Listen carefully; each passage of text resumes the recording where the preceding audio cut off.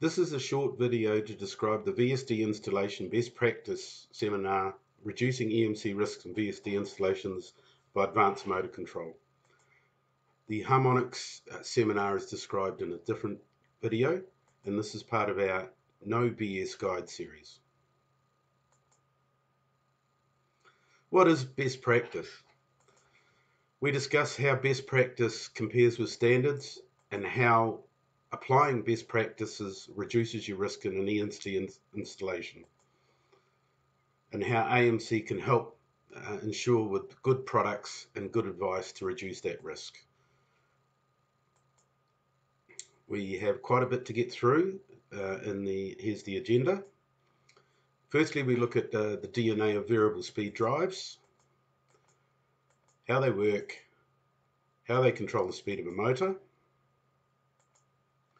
we also look at motor basics, how the rotating field is, is created,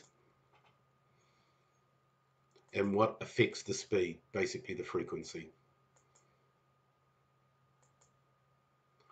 We look at propagation paths of EMC, whether it's radiative, conductive, inductive or capacitive, and look at the effects of DUDT voltages and peak voltages on the motor on the output of the drive.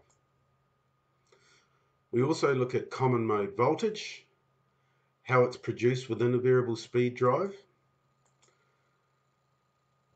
how it induces a voltage into the frame of the motor, and the best practice of getting that voltage back to the variable speed drive. We also look at mitigation methods on the output of the drive, DUDT and sine filters, and some drives that produce a, a pure sine wave.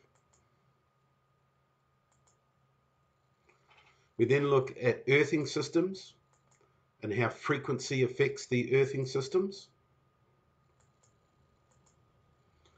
and how skin effect can affect how much current and where the current is carried in conductors and in cables.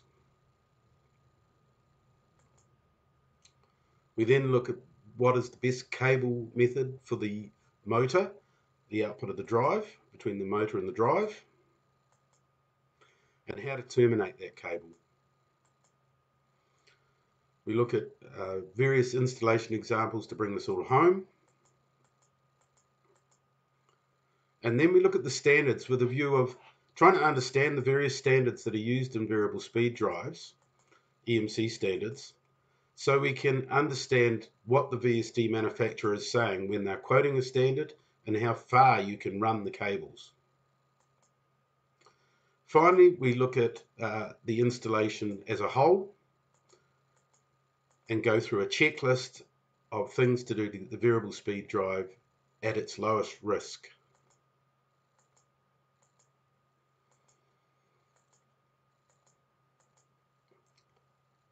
AMC market.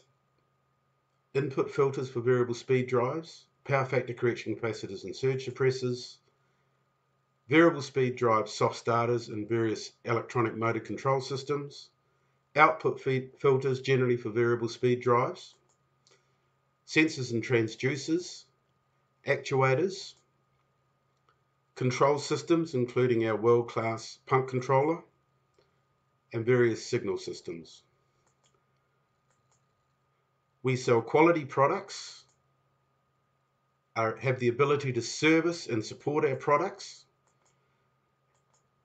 and do industry training in New Zealand. Thank you very much.